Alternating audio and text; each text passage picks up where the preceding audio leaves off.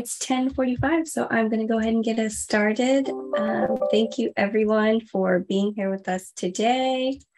Um, yes, so we're so excited that you could join us for today's session. Um, this is going to be covering telehealth usage and strategies.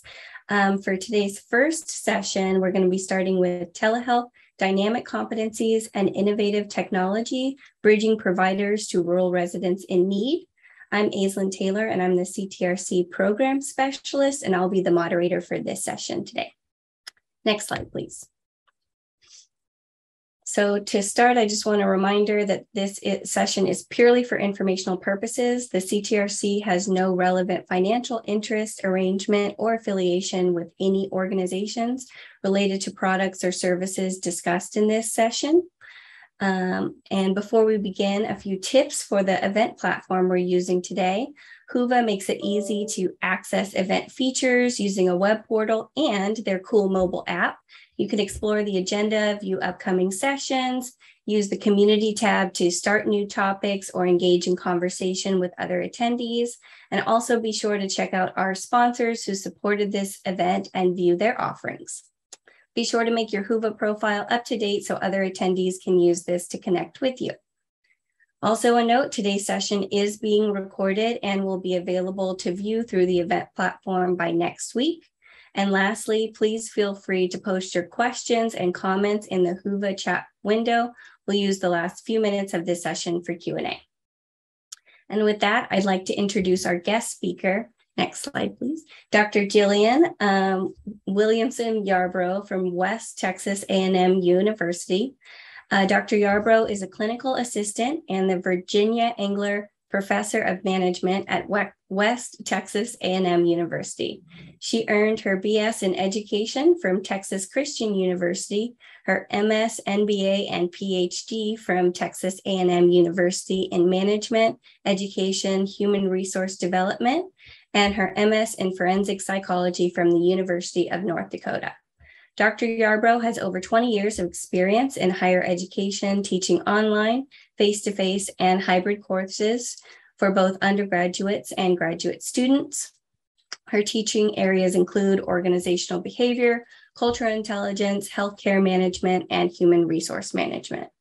Her research focuses a focus examines key competencies that are important to effective communication via care technology, including ongoing examination of telehealth competency necessary to support rural residents. Dr. Yarbrough, Yarbrough the floor is yours. Thank you. And I think I'll, I'll need to go to the next slide. So this is, you know, the, the introduction slide, my telehealth dynamic competencies and innovative technology, bridging providers to rural residents in need. And this is some of my absolute favorite research that I have conducted. And I'm, I'm really thrilled to be with this group today to talk about this research. And we can go to the next slide. And this shares a little bit about my degrees and my background, but I want to share how I found myself um, working in a distanced environment.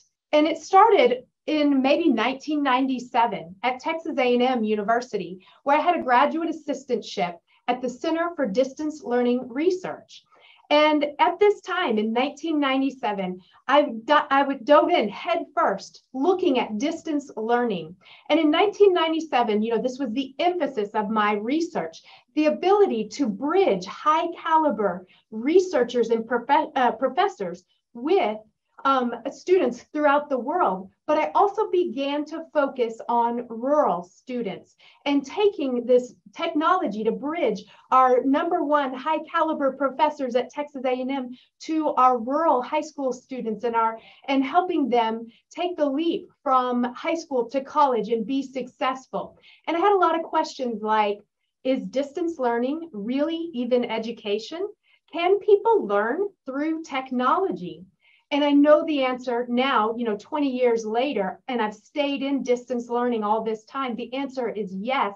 And not only can people really learn via technology In many cases, online learning is richer, uh, more engaging, and allows people with diverse backgrounds to come together and learn. So that's how I kind of began looking at technology as this bridge between experts and those in need.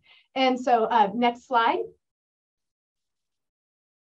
While I've spent a great deal of time in Texas, you can see my degrees are from a lot of Texas universities. I have had opportunities to uh, work and contribute from Palo Alto, California to Spartanburg, South Carolina. So I've gone from coast to coast and I have driven all through California.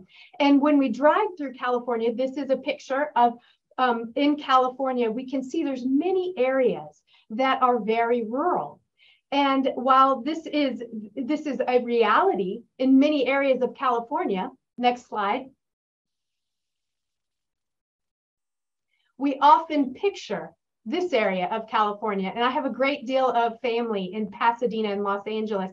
So I see this when I go. And this is, they have wonderful medical facilities, right, in Los Angeles and Pasadena, and wonderful medical professionals. And sometimes we forget that there are areas of California that are more sparse and rural that are in need of the kind of care that's available in a Los Angeles or a Pasadena.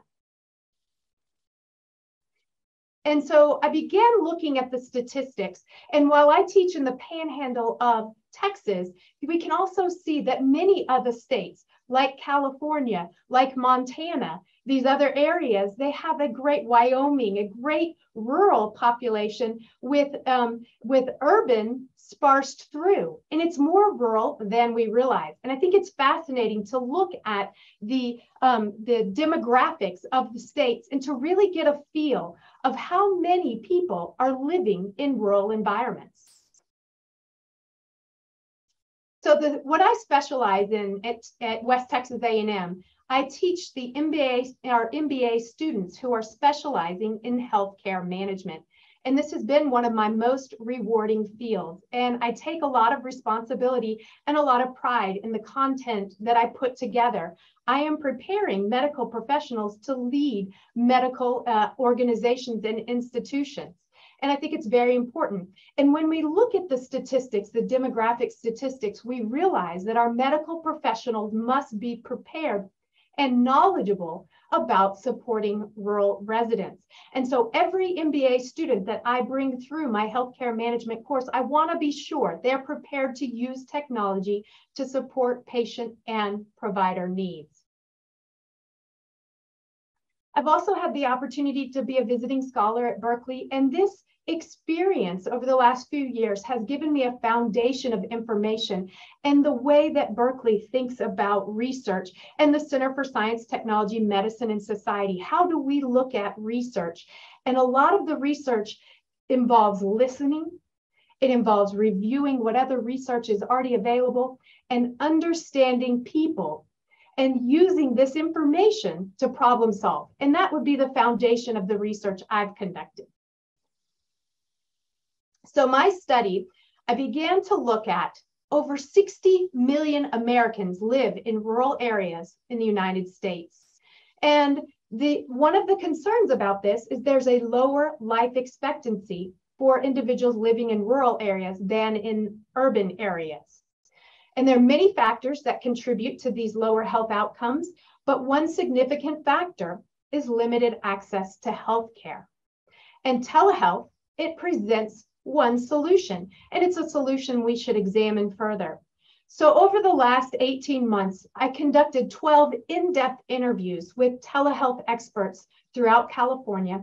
Primarily, my interviews are focused on how to use telehealth to bring about quality of life for rural individuals.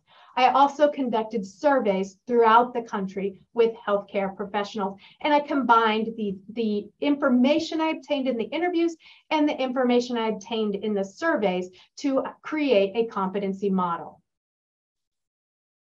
So from these interviews and from these surveys, it was identified that healthcare managers, specifically healthcare managers that are going to be involved in understanding how telehealth can bring strategic value and benefit to both patients and providers. Some key competencies they must have. they must have technology and communication skills.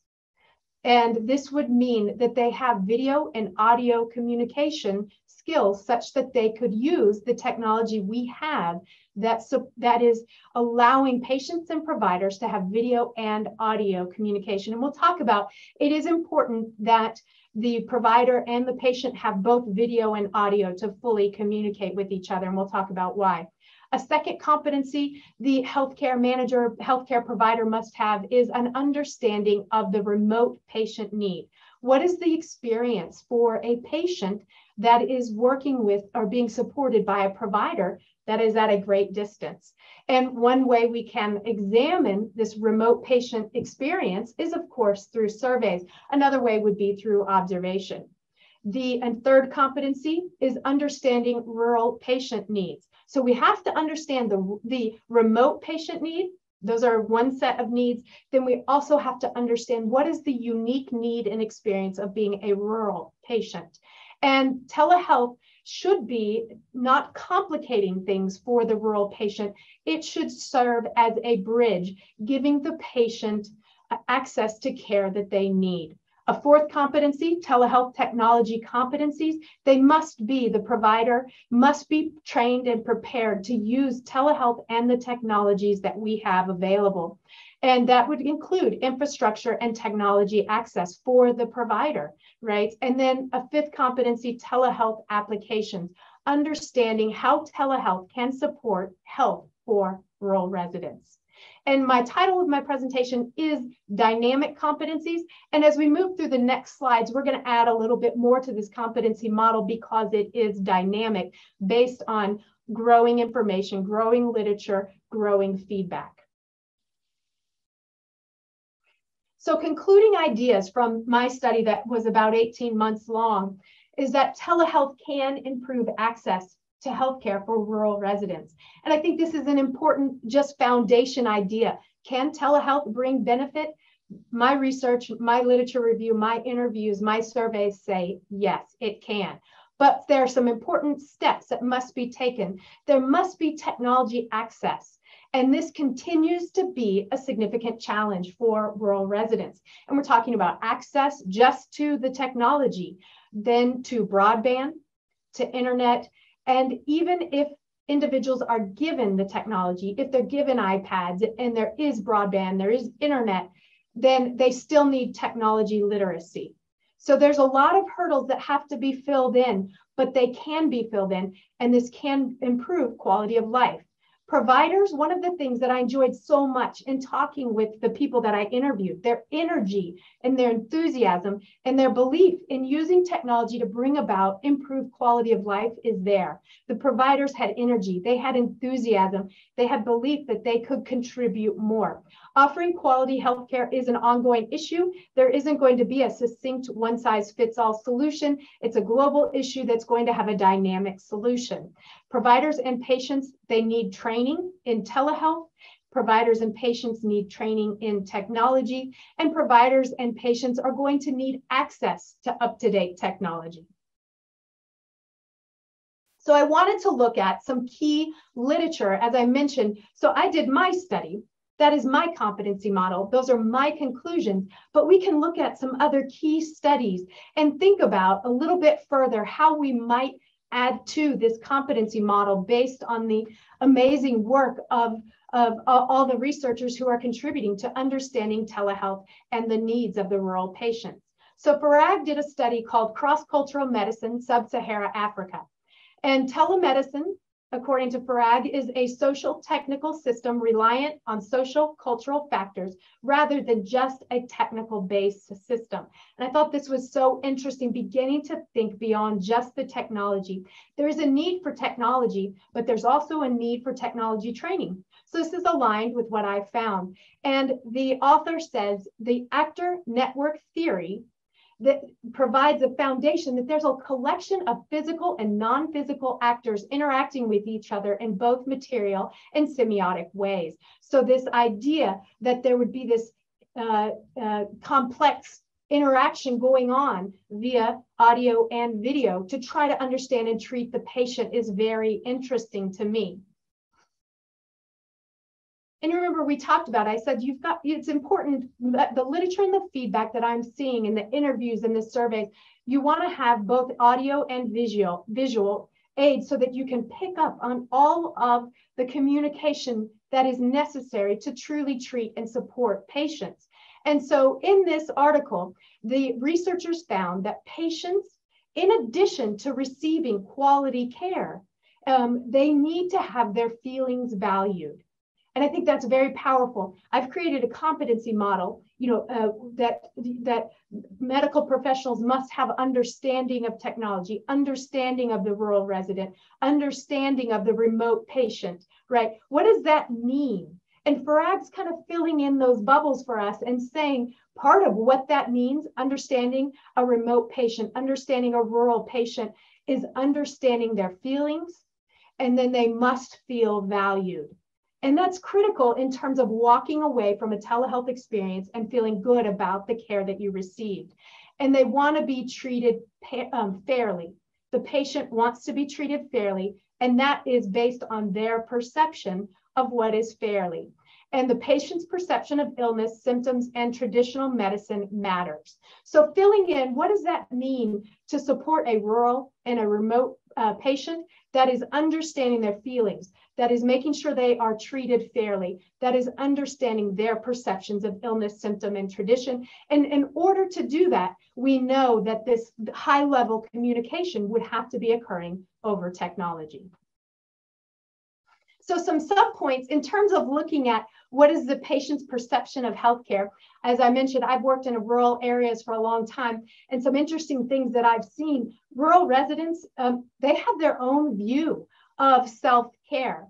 And I have seen people who've set their own bones, and there's much more, there's much less talk about mental health. So just as a sub point in terms of understanding and treating a patient that is at a distance from the provider, far away, and that is in a rural area, you will have to, the provider will need to gain an understanding of what does healthcare look like to this individual.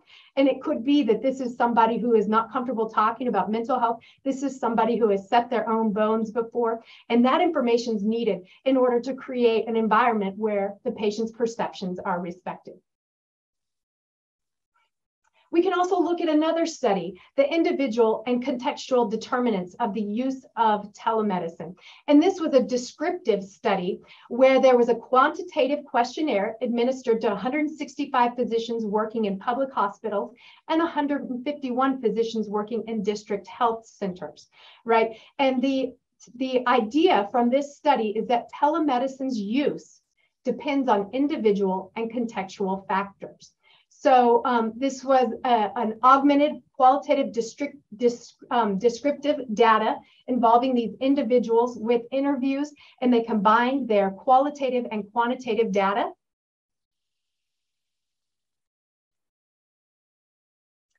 And they found an overview of what type of participants healthcare providers were offering telehealth. And they were primarily men, they had an average working age of 39 to 41. The majority of the physicians, 72%, worked in public hospitals and were likely to use telemedicine in their professional activities. And this did not differ by age, specialization, or region. So use of telemedicine did not differ by age, special, specialization, or region, but it did differ based on location of the telemedicine usage. So location, where the telemedicine is being used, where the providers and the patients are located, it mattered in terms of influence of telemedicine usage. So a couple factors in there, technical factors that influence the telemedicine usage. It could be the provider was perfectly willing to offer telemedicine support, but there was a lack of computer, lack of medical equipment, lack of um, explorative help. So the availability of technology is considered critical. And in my interviews that I conducted, almost everyone said this is the greatest factor. Is the technology available? So many rural areas are absolutely lacking in infrastructure. And that is a critical point if we are going to look at telehealth as a solution to supporting rural residents. What are we going to do beyond training our provider and our patients and beyond understanding competency models and thinking about how we might effectively communicate and understand people's perceptions? Is the infrastructure there? And that's got to be a foundation question to consider.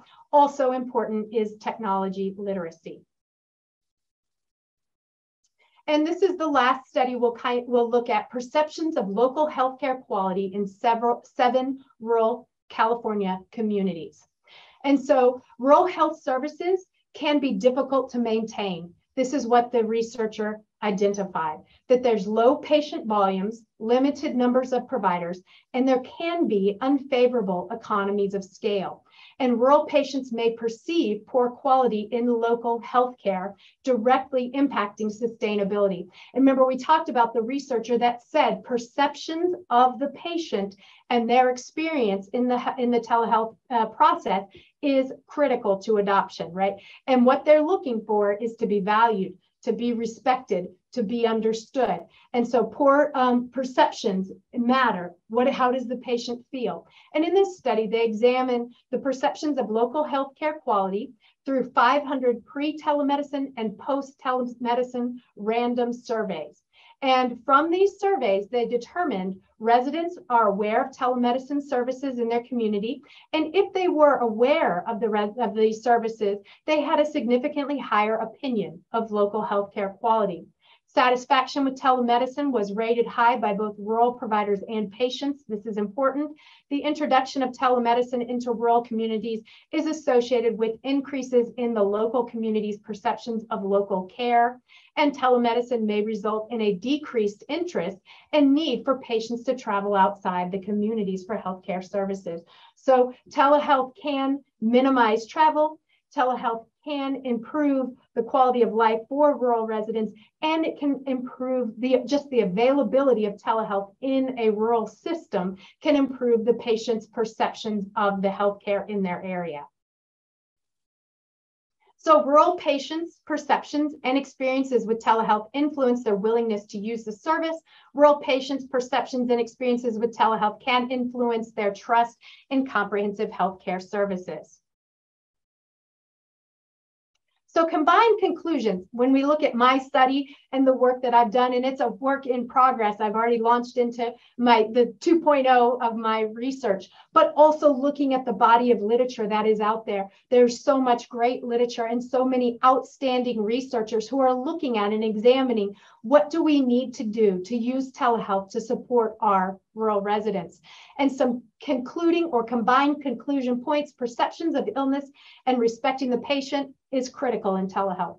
There are barriers to the adoption and use of technology. We know that some we're going to have to work on those barriers. They're going to have to be knocked down in addition to building up the competencies for both patient and provider. Patients' feelings about being valued and being treated fairly influence their perceptions of telehealth.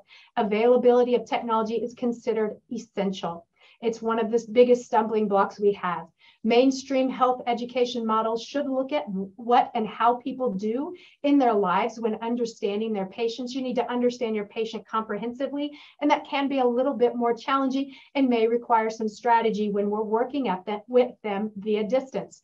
No health education solution is global in nature. Favor an open and free discussion with people as health professionals. We should not reject people's uh, knowledge and how they their causation pat- patterns and what they believe causes and creates illness. And we need to keep communication between patients and healthcare providers open. Providers and patients need training in telehealth, and providers and patients need access to up to date technology. So it's important that we have rural communities, each community it needs medical leaders that not only have this competency model, this understanding of telehealth, we're going to have to also come to the table with awareness of culture. And this model is talking about understanding culture and how does the fit, how does the culture fit with telehealth? We need to bring specialists and dis, uh, that are great distance to the patients Can culture be taught? This is a question we all consider. Can culture translate through technology? Can patient needs be transferred through technology? How do we think um, these articles relate to the research I've developed? And what direction would we all want to take next? And I would like to add, when we look at the competency model that I presented, after gathering more information, I would put within the middle of that competency model that it is critical that healthcare providers and patients and um, healthcare leaders are all thinking about perceptions, feelings, they're building trust, there's training, there's open dialogue, and there's awareness of culture. Thank you very much. That was great, Jillian. Thank you so much for sharing. We appreciate that uh, presentation. That was a lot of great information in there. It always uh, is so helpful to remind myself how much of California is rural. Um, as much as we like to focus on Los Angeles, so much of us do live in rural areas um, and have so many of these challenges uh, to face. So um, thank you for that helpful information. If there are any questions for Jillian, now is the time. So please go ahead and drop them in the chat or in Whova um, using that platform. Um, we do have a comment that says that we think, uh, I think that technology is there. The problem is the reimbursement models. Yeah. Such, I agreed. So important, key, critical point. I heard that from many of the um, interviews I was conducting. But some some um, some positives on that side is that the reimbursement models seem to be changing and seem to be um, more inclusive of telehealth. So that's good. I think that that one's that issue. You're, you're exactly correct. Critical issue, and I hope to see it evolving in a positive way. I couldn't agree more. Um, it's definitely something we're watching, we're paying attention to. We have some sessions uh, later throughout the conference that will be focusing more on that policy and reimbursement side and, um, you know, how to work around those challenges. Um, but definitely uh, the technology is there. Um, and follow up to that comment, do you think that value-based payment models will help change this? I'm going to leave the the uh, the payment model. You know, this it's so complicated, isn't it? One of the things that I heard from my interviews um, with with the providers that are um, you know using this at this time, um, they're concerned about payment and how are we going to fix that challenge. And I think it was as as concerning as simply getting the technology. And how are we going to set up a system that is going to acknowledge and respect and support telehealth? I mean, it's going to be an ongoing dynamic model of change where we're going to attempt a few things. And we may find that some models work best best with some types of treatment and other models and other treatments or some models for some locations and so i, I think that's it's such a huge and significant point um, it, it's hard to answer exactly what might be the right solution. Um, and we'll do one more question. Uh, are there any actions that we can take as providers to improve access to our telehealth services for our rural patients? Any um, advice? Um, you know, so those are those are I think that's an interesting question. Of course, we can get grants um, we can um, give out uh, technology. I, I, was so inspired um, listening to the actions that people were taking um, that are committed to telehealth and to serving the rural communities.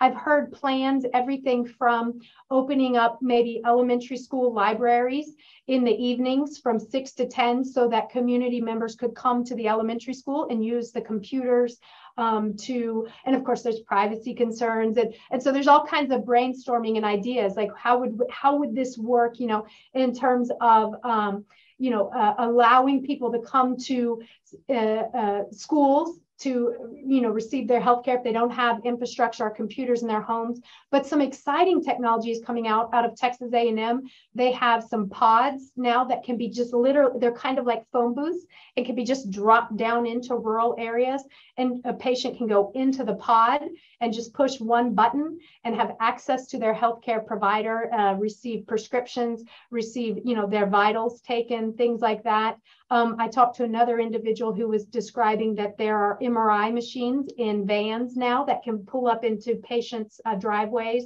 Um, so there's amazing technology coming out. There's solutions and ideas about having the patients come to technology. Of course, we've all thought about um, can we get iPads and iPhones and things like that to patients in a way that they could reach their professionals. Um, and certainly there's a lot of grants out there to help help providers and uh, people in this research area bring the technology to the rural residents in need. So lots of ideas um, and lots of great brainstorming. And I think solutions are just around the corner. Yes, I agree. I think there's a lot of creative stuff out there. Uh, the CTRC recently completed a video series with um, some rural health hospitals and clinics where we're looking at just uh, providing care for your different patient populations and tips for interacting with them on how to just conduct yourself well on video to make those connections happen. And um, the bigger stuff of getting that technology out there improving that broadband access. So lots to consider. Um, thank you so much, Jillian, for sharing with us today. Um, I think she will be, she is on the Whova platform. So if you have any other questions, um, you can reach out to her that way. And I think she has shared um, contact information through her presentation. Um, so we'll have that recording available um, to you. so now uh, with that, uh, we're going to transition to our next session, um, which will be leveraging innovative telehealth strategies and technology to increase revenue and quality. Um, for this session, um, I'll give us a second just to get our presentation pulled up. Uh, for this session, we do have two speakers on the agenda, um, Pete Ferrente and Ellie Lopez. I do want to make a note um, that unfortunately Pete is not able to join us today due to a, an emergency, a personal concern. So um, we are lucky enough to just have Ellie speaking uh, to us today, um, which is she's a familiar face to the TRCs. Just give us a minute to get our presentation pulled up.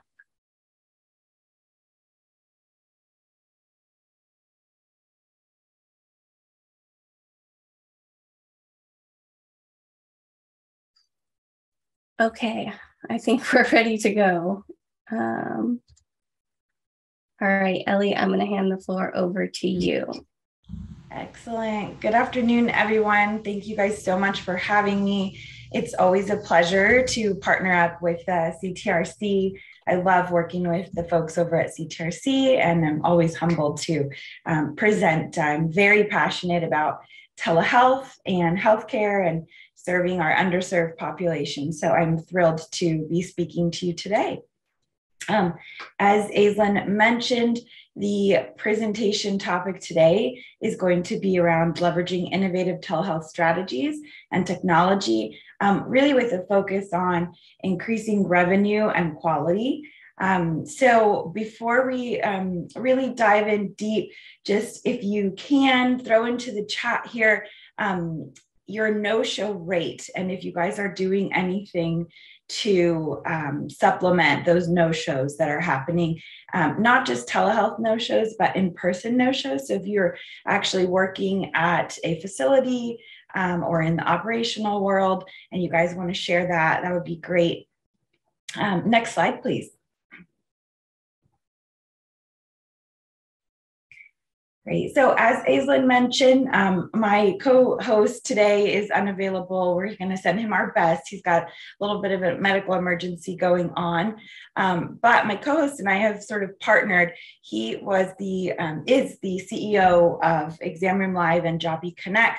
And Joppy Connect is a consulting agency that focuses on technology um, and really has a niche and an expertise in healthcare. Um, so we've partnered up, and I've been able to have the pleasure of working with them on um, maximizing workflow efficiencies. They specialize for the last five years in uh, some healthcare software. And so I've had the pleasure to work with them and provide some sort of volunteer consulting, um, sort of my nighttime job, if you will, on uh, some ideas that can really help out our patient populations um, that we serve. And so the objectives for today's presentation really are about um, sort of how to evaluate, maximize, and leverage technology.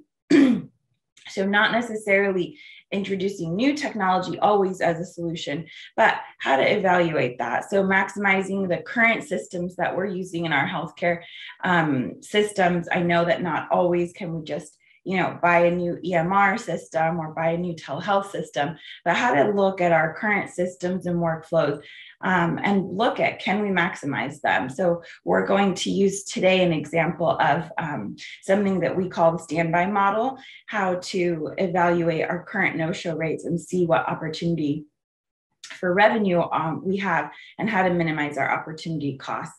We're also going to just look over how to evaluate your current vendors and systems, um, how you can look at your quality initiatives um, to maximize that opportunity for benefit while providing your patient care. And then if you are interested um, in looking at, you know, do we want to look at new vendors? How can you leverage those new vendors and technologies? How can you make sure that they're working for you to help you meet the patient needs? Um, because we have a lot of demanding needs in healthcare. We're doing less with more every day. And so, what really um, you all need and we need as healthcare providers is a vendor and technology to help support us and make us more efficient. Um, not necessarily for us to look at them as only a technology vendor for what they offer, but what can they build to sort of um, customize that helps us meet our needs. Next slide, please. So in the very beginning, I asked you guys if you could just share in the chat your no-show rate. Um, if you guys do know that no-show rate and don't necessarily want to share it, that's okay. But something that I think is really common right now in the healthcare um, systems is missed opportunities for revenue. And so we look at those as opportunity costs because although it is a no show, if you don't do anything about that no show, the opportunity for reclaiming uh, that as a visit, as a revenue stream, is an opportunity cost. And so we found that on average, um, no show rates are about 20% sometimes a little lower if you're talking about behavioral health or specialty, um, but about 20%. And so a lot of practices, um, especially in like family practice, they may double book, but a lot of practices have seen that that causes issues in their system. And so if you're double booking, a lot of providers are getting upset, patients are getting upset. So you're going to have staff dissatisfaction, patient dissatisfaction, um, and you're going to have issues daily should those patients all actually show up for their visits. And so, something that we want to do is look at patient no show rates because patients are no showing since they have scheduling conflicts. Maybe they forgot about their appointment, or they think that calling, you know, maybe it takes them an hour to get through to cancel, or, or it's not easy for them to cancel an appointment. So we know that they happen. And I see a few chats coming in. Um, it looks like some folks are uh, roughly a little less than the 20%, about 16, 10 to 15 um, but having some great um, diligency in those confirmation calls. So let's go on to the next slide. We can talk a little bit more about what can we do to maximize our opportunity. So we um, have been discussing this for some time. If you guys have joined the CTRC presentations, you've heard me talk about this type of thing before and sort of how can we manipulate our current systems or how can we find a system that helps us to manipulate this situation that we have, especially now with telehealth and the demand for telehealth, we really have this excellent opportunity um, to maximize on this. So we started calling this a standby model, right? So when you go to the um, airport, there's a standby list. The airlines have this standby model that they they have where you know the passenger might not necessarily have a foreshore ticket, but kind of waits in line in case there is an open seat and then um, they're you know considered standby queue. So in order for this to work um, truly what you need is a queue of patients who want to be seen right? So those are kind of your walk-in appointments your walk-in patients. Maybe um, not necessarily urgent necessarily but patients who call hey my child is sick. Can i be seen today? And maybe their pediatrician doesn't have any openings, but the potential for no shows um, should arise. And so that could be something that you could apply a standby model to.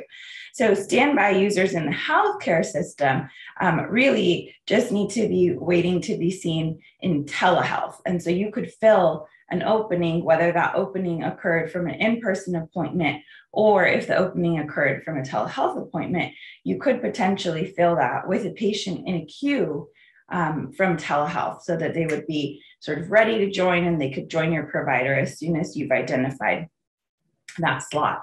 Now, this process could be manual or automated depending on the systems that you guys are using, depending on um, how your EHR functions. A lot of us, we have EHRs that have something called a wait list in them. Um, from what I've seen, and we've tried to attempt using a waitlist, it doesn't always work the best. A separate queue specifically for the day of, um, the provider of, or the specialty of seems to work the best. But you could automate this process um, should your system allow for it, or should you be working with a vendor um, that can customize something like that for you. Um, but there's also a manual way of doing it. Very simply put, a live excel sheet and you know your scheduling team and somebody focused on on this.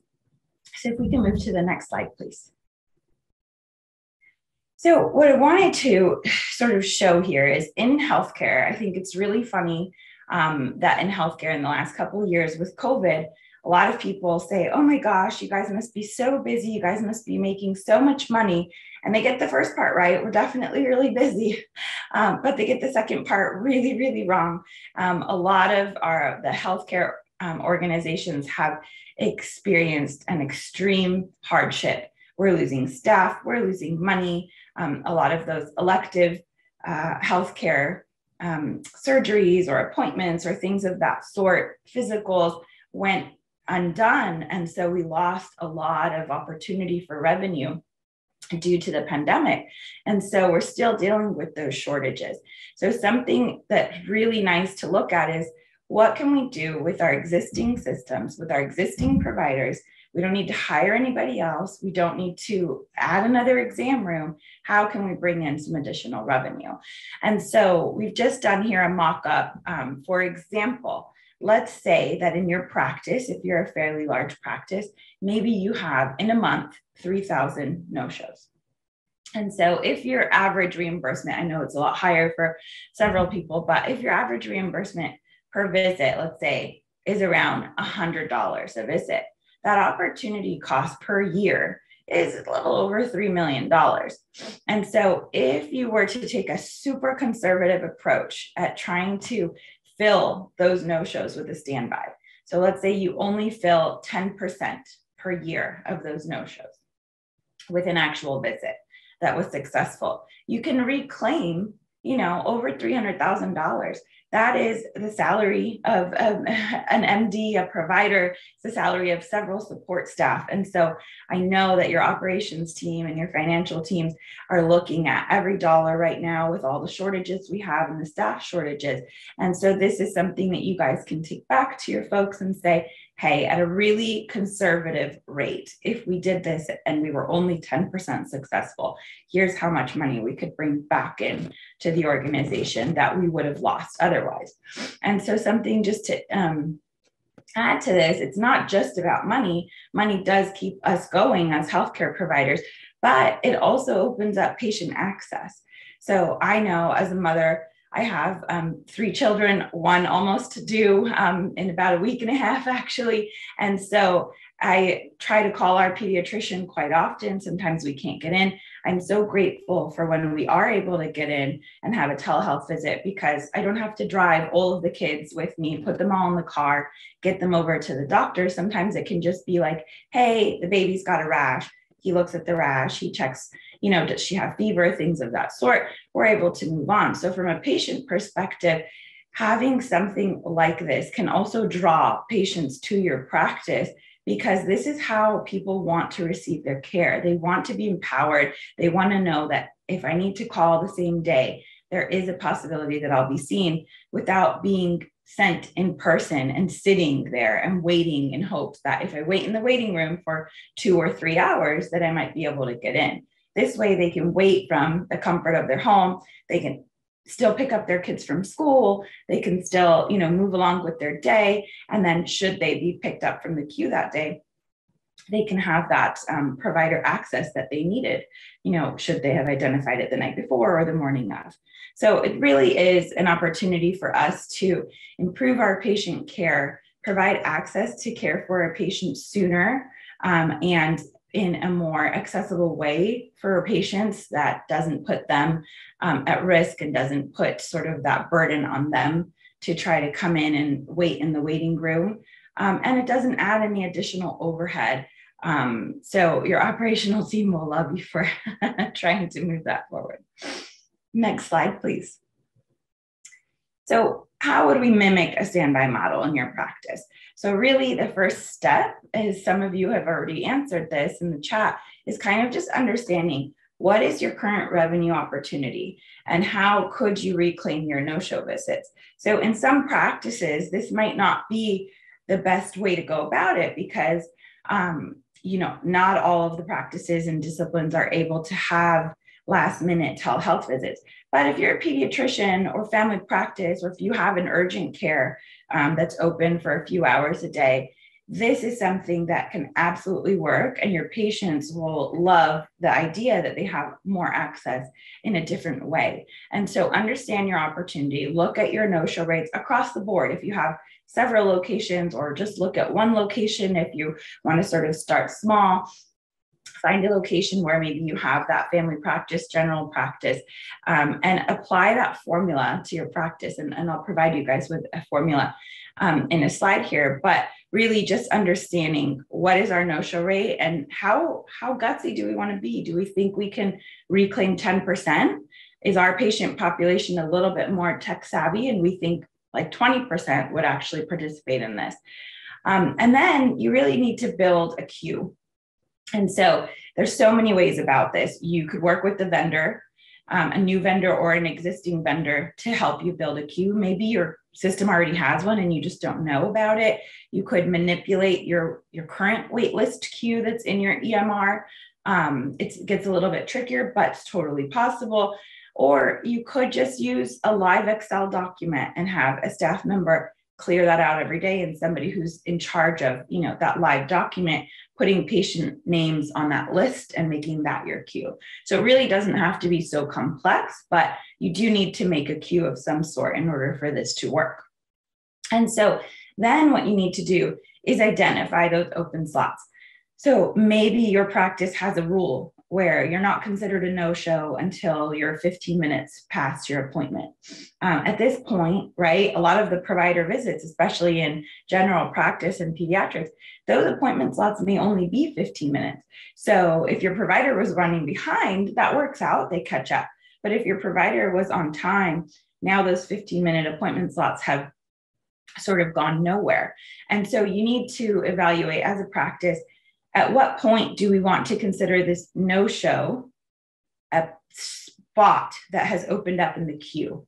And so that might be at five minutes, right? So at five minutes, um, the pediatrician, for example, his patient has not showed up yet. So maybe they're running late, but we haven't heard from them. We've called them. We haven't heard from them. So they may likely no show. So at the five minute mark, we open them up in the queue and let the pediatrician choose um, their next appointment from the queue. And then if the patient shows up, you know, we can work with the pediatrician if we need to squeeze them in. And so it's really important work with your team, work with your operational team, work with the pilot provider, find out what could work best to fill those no shows and at what minute mark would you guys feel comfortable considering that no show an open slot for your queue. And then final step would be to fill that slot. So you can again do this manually. You can have your staff send a link to the patient, call the patient and say, hey, you know, doctor freed up we're able to get you in if you can join in the next three or four minutes or next five minutes. Please go ahead and wait in the queue, and the doctor will join the visit shortly. Um, this can also be automated. You can work with a software vendor, and this can be automated where the patient automatically gets a text message, the system fills the appointment, and your staff don't need to make those calls. Your, your system does the work for you. Um, so a lot of ways to go about this, but again, work with your systems, work with your vendors, and just explore how can you make this work in your practice. Next slide, please.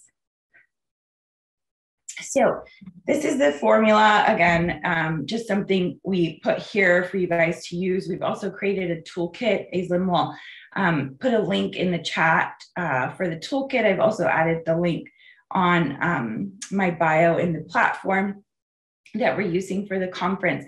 But really, what you need to do in order to understand the opportunity cost for no shows specifically, but you could apply something similar for other areas, is get your average number of no shows. So, usually in a month or in a year, um, your operations team or your finance team will know mm-hmm. the average number of no shows. Maybe you want to do a specific discipline, but go ahead and apply that average.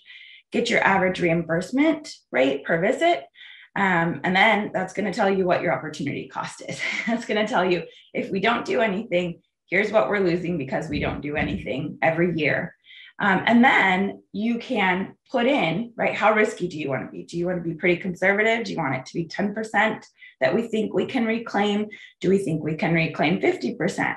Um, and then find out and let your team know hey, here's our goal. We're going to try to reclaim 15% of our no shows with a standby queue. And here's how much money we're going to hope to reclaim in this next year. And find out if you're successful and, and pilot that and work with your, your provider team and your operations team. Next slide, please. so we kind of went through some of this, um, but just to go over a little bit more in detail building a queue, um, you really also need to consider a few questions, right? So we talked about it could be an Excel online form, it could be a Google Docs. Use something live, don't use something static that's on someone's computer, because if you need to have multiple staff look at that um, and they forgot to delete a name or anything like that, it's going to be problematic. So, best practice would be to use something live, um, like your EMR uh, system like a software um, that your vendor has for you or a new vendor has for you um, or an excel online. And then what you need to do is make a few decisions. So you need to decide how patients are prioritized right? Is your practice going to prioritize patients by maybe their chief complaint? Um, is, are they going to prioritize them just by first come first serve whoever called first they're first in line sort of like that standby model at the airport or at restaurants, right? Like whoever came in first gets the table first, gets the seat first. Um, you also want to decide who is going to manage that queue. So you don't necessarily need new staff to do this, but you do want to make sure whoever you assign to this, maybe it's your front office staff, um, maybe you have an office manager who helps to manage the day and the schedule. Um, so make sure you identify that person. Um, and it could even be, you know, a telehealth coordinator. I know in the last couple of years, a lot of folks um, have had sort of, and I don't want to use the word luxury, but in healthcare right now, it's sort of a luxury if you have any additional staff anywhere. So if you have the luxury of having a telehealth coordinator, I would say they're probably the best person, best suited for this task. Um, but even a call center representative, scheduler, you could work with anybody who understands getting patients scheduled and getting them seen. Next, please. Thank you. So identifying and filling those time slots, again, um, you want to just create a workflow that identifies your openings. So what do you consider an opening? Is it um, only specific types of appointments? Maybe if you have appointments that were 30 minute appointments. Those are the ones that you want to consider standby um, queue available. Or if it's all of your appointments, it doesn't matter. Or maybe it's not your OB, but your pediatrician. Um, so you want to work with your team to identify what type of appointments can be considered available should a patient no show to them. And at what time um, should those be notified? Um, is it cancellations under 24 hours? Is it if a patient reschedules in less than 24 hours? Um, or is it only the ones that just truly don't show up on the day of? And then you want to try to create some automation whenever you can. Um, so I highly encourage you guys to mm-hmm. work with your vendors, um, work with your systems to automate wherever you can because we know in healthcare right now we are so short staffed and so overburdened and so adding anything new can feel really, really difficult with our teams. But automating the process whenever. So, can you build a pop up in your system? Um, can your vendor build a pop up in the schedule that says, okay, you know, Miss Ellie didn't show up. It's five minutes past Ellie's appointment. Would you like me to add to the queue? Yes, great. So it adds to the queue. And then it says, um, you know, Aislinn is on the queue. Would you like me to send her a text message to see if she's available for the appointment? Yes. And then it prompts and sends a text message with the link for her to join. Um, so there's a lot of automating that can happen in the systems. We just need to work with your IT teams, work with your vendors, find out wherever you can skip a click. your staff will be very grateful for that. And then again, filling those time slots. It might be manual process, but if you can automate it in any way, you have any um, patient call automation, patient text message automation, use that to your advantage, work with your vendors. And then I would highly recommend wiping that queue on a daily basis because what happens is if you don't wipe that on a daily basis, or if you don't have a separate queue and consider it rolling into the next day, should your patients want that option, um, it really ends up looking like the waitlist in all of our EMRs, which is very complicated and doesn't get wiped out and doesn't get cleaned in some of our larger practices, and then doesn't serve its purpose.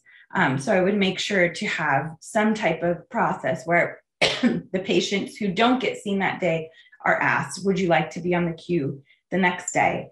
And then if they do, we wipe the queue and we create the next day's queue with new list of patients. Next slide, please. Thank you. So um, something that's really important in all of this is to evaluate um, your your system, evaluate your workflow, evaluate your efficiencies. And so I have this little picture of an apple here with the sticker um, that doesn't seem very fitting into our workflows. But I heard a story about this mm-hmm. before, and it's really about not passing the buck on to your patients. So when you identify your systems, you really want to look at your workflows. You want to identify what is going to move you forward, what changes you want, and you want to identify those weak points. Um, you don't want to pass that on to your patients, right? So you don't want to make a harder click for your patient or your staff, even because you can't figure the problem out. So in the in the fruit world, um, you have all these you know stickers on all of your fruit, and the real reason for us having to peel that every time we want to go eat our apple is because they couldn't figure out in the industry how to do inventory on a whole bunch of apples. And so they put a sticker on every single apple. And really, what they did was pass that on to us. They passed that problem on to us as the consumers. And so I really think that in healthcare, it's a very fine line where we get our patients to say, telehealth was easy, my appointment was easy, I can take this. And if we put any more pressure on them or pass any, you know, bucks on to our patients, we are going to create hesitancy in their usage of telehealth and their comfort um, and their experience. So again, really make sure you don't put any workflow issues onto your patient. Try to take as much of that off in either manual or automated process as possible. And then um, finally, is just continuous training. At the beginning of the pandemic, it was all hands on deck. We did training, we trained everybody, we had workflows. Have we revisited them? Have we retrained providers? Have we refreshed our staff? And so making sure that all of your staff, the new folks, and all of those who've been you with you for a long time know the same thing. Do refresher trainings, just like we do our HIPAA training every year. Maybe have you know your your tech training, your telehealth training um, every year or every quarter, so that people stay on top of it. Next slide, please. So I think we're we're getting a time warning, um, so I'll try to talk through this very quickly. Um, but really, something that you want to do as far as leveraging technology um, is invest time into your monitoring of your workflows, invest um, time into evaluating the efficiencies of your system, automate your workflows, um, work with your vendors, ha- have them work for you. Don't be afraid to ask them questions and to ask for customizations. Um, just because that's their out of the box product doesn't mean that they may not be willing to do some things for you. Share information with your vendors. Tell them about your space limitations, your shortages. Explain to them what your world looks like and see what they can do to help you with that. And then advocate for your patient needs. Um, you know, a story I like to tell all the time is I was working with Microsoft Teams. I was participating in their TAP program um, when they were launching telehealth early on, and they kept using verbiage that was really business verbiage, right? Join your meeting. And so they kept saying, here's what your patient is going to join. It says, join your meeting. And we kept advocating, we kept saying, it is not a meeting. Please make it an appointment or something that is patient friendly. And so I encourage you guys to do the same because your priorities are your patient experience. Um, that's what helps to empower your patients. And we need to remember that ultimately our goals are to advocate for them, to make our workflows efficient and to empower our patients and meet them where they're at so we can help um, to better serve them. Next slide, please. All right, so just some next steps is really engage all levels of your staff. Um, when you pilot, don't forget your frontline staff. Don't forget your operations team. Don't forget your medical assistants. Their voices are really powerful. Um, they're the ones, you know, we learned in our practice specifically at our FQHC that we thought our providers were the ones that were difficult to get onto telehealth visits. And what we found out was it took two extra clicks um, for a telehealth visit. And so it was actually our frontline staff. It was actually our schedulers who we needed to work with. So really set your goals, set your expectations, and include everybody into that pilot. Um, find out how to best maximize your scheduling templates, prioritize that training, and then advocate for investment into your telehealth solution. A lot of us launched two years ago and we haven't been able to um, revisit that. So just know it's okay if it's not perfect right out the door, um, but piloting will help you to create some workflow efficiencies. Next slide, please.